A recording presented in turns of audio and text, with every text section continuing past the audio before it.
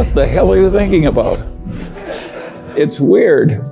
And what's happened, of course, is that we're standing a bit for some combination of basic morality and sturdy common sense. And it's amazing how well Berkshire Hathaway and the Daily Journal, for that matter, have succeeded with nothing more than basic morality and sturdy common sense.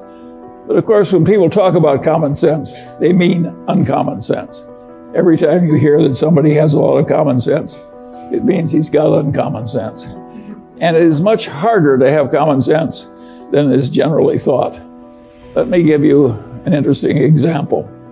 In the investment world, people, involves an enormous amount of high IQ people trying to be more skillful than normal. You can hardly imagine another activity that gets so much attention. And weird things have happened. And years ago, one of our local investment counseling shops, a very big one, they were looking for a way to get an advantage over other investment counseling shops. And they reasoned as follows. We've got all these brilliant young people from Wharton and Harvard and so forth, and they work so hard trying to understand business and market trends and everything else. And if we just ask each one of our most brilliant men for their single best idea, then created a formula with this collection of best ideas, we would outperform averages by a big amount. And that seemed plausible to them because they were ill educated. That's what happens when you go to Harvard and Wharton. And so they tried it out, and of course it failed utterly. So they tried it again, and it failed utterly. And they tried it a third time, and it also failed. And of course, what they were looking for is the equivalent of the alchemists of centuries ago who wanted to turn lead into gold. They thought if you could just buy a lot of lead and wave your magic wand over it and turn it into gold, that would be a good way to make money. This counseling shop was looking for the equivalent of turning lead into gold, and of course, it didn't work. I could have told them, but they didn't ask me. Now, the, the interesting thing about this situation is this is a very intelligent group of people that's come from all over the world. You've got a lot of bright people from China where people tend to average out a little smarter. And the issue is very simple. It's a simple question. Why did that plausible idea fail? Just think about it for a minute. You've all been to fancy educational institutions. I bet you there's hardly one in the audience who knows why that thing failed. That's a pretty ridiculous demonstration I'm making. How can you not know that? It's one of the main activity of America, an obvious and important failure. Surely we can explain it. You have to have stayed awake in your freshman college courses to answer that question. But if you ask that question at a Department of Finance at a leading place, the professors wouldn't answer it right.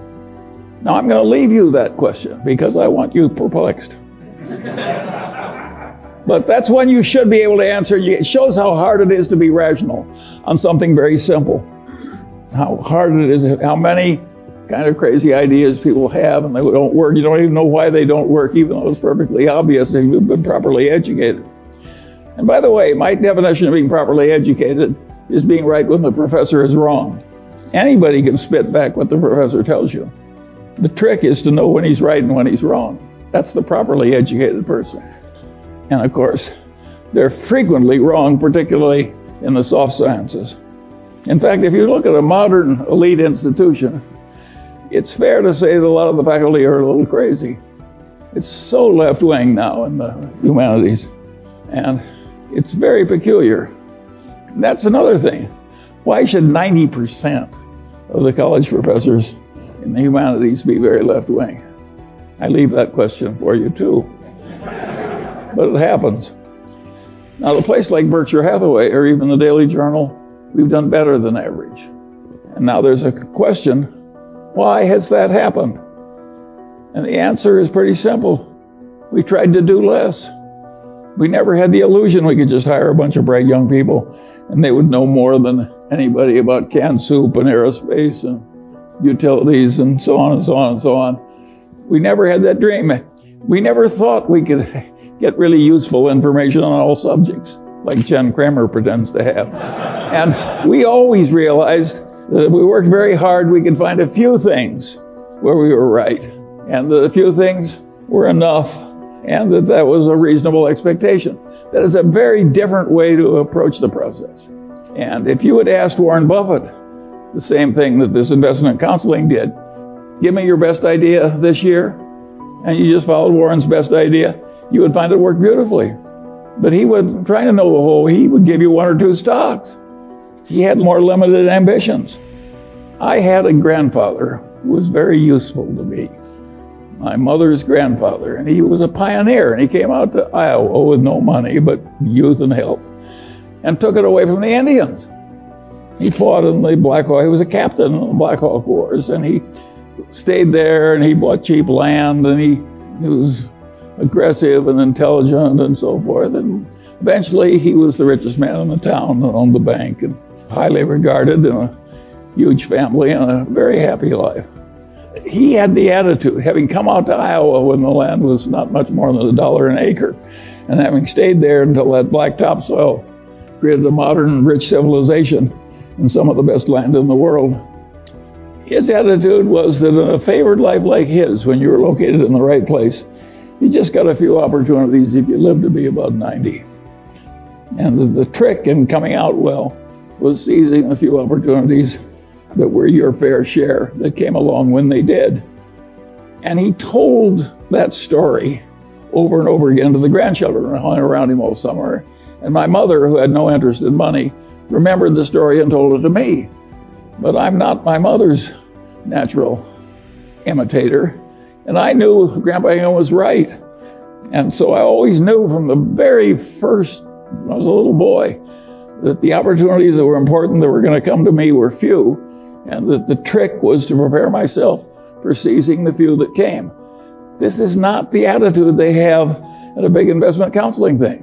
They think if they study a million things, they can know a million things. And of course, the result is almost nobody can outperform an index. Whereas I sit here with my Daily Journal stock, my Berkshire Hathaway stock, my holdings in Li Lu's Asian fund, my Costco stock, and of course, I'm outperforming everybody. I'm 95 years old, and I practically never have a transaction. And the answer is I'm right and they're wrong. And that's why it's worked for me and not for them.